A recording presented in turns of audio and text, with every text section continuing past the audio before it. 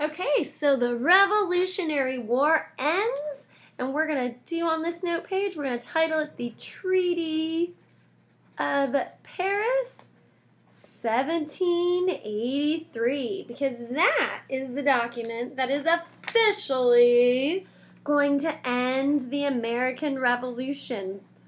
Both the English representatives and the American representatives are going to meet in Paris where they will sign this document.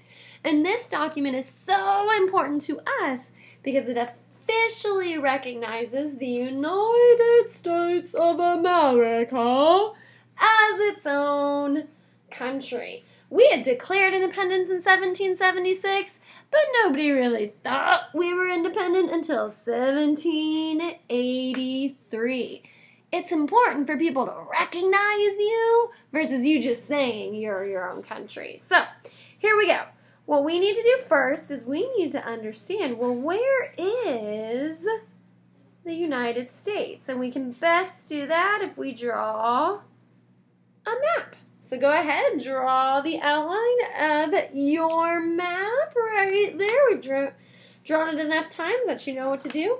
So we're going to label a few things. We have the Atlantic Ocean right there. Here is my Great Lakes. Right here, my Appalachian Mountains.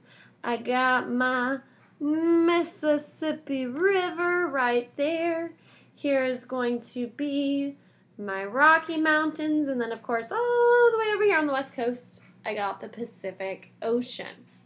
Now, we know that the 13 colonies were on the East Coast, right? The 13 colonies are on the East Coast, right here on the other side of the Appalachian Mountains.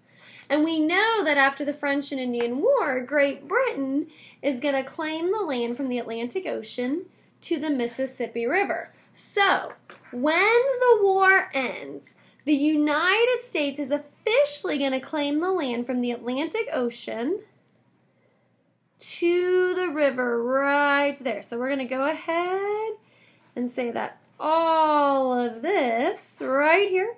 So, all of this in here, this is the new U.S. of A in 1783. So there we go. We have our official United States of America right there. It goes from the Atlantic Ocean to the Mississippi River. So we'll say Mississippi River.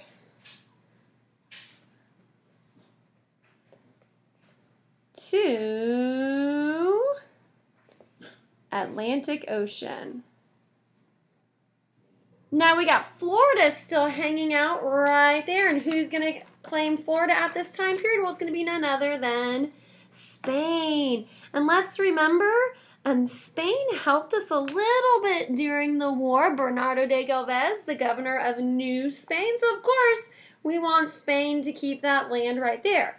Who were our other allies in the war? Well, it was none other than the French. Parlez-vous français? And so the French are going to get New Orleans right down there, that city. And all of this land right here. They're going to claim that land over here. So this is all going to be claimed by the French. And then coming towards the west and the south, we already know who claims that. That is going to be none other than our Spanish. And so under the Treaty of Paris 1783, the United States is officially going to have that land between the Mississippi River to the Atlantic Ocean. So the Treaty of Paris does two things for us. Number one, it officially recognizes the USA. It says you are your own country. And then number two, it ends the war. Now you're probably wondering, well, where did Great Britain go? Well, some of the soldiers are going to stay a little bit here, but Britain really is going to come up here into Canada and they're going to claim a lot of the land in the north. And so we end at the top, T O P, with the Treaty of Paris. If we remember our V timeline, our top is right up there. We end with the Treaty of Paris, 1783, officially recognizing the United States, ending the war.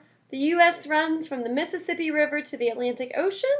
Britain comes up into Canada. We have France as our neighbors to the west, and then Spain even further west and down in Florida.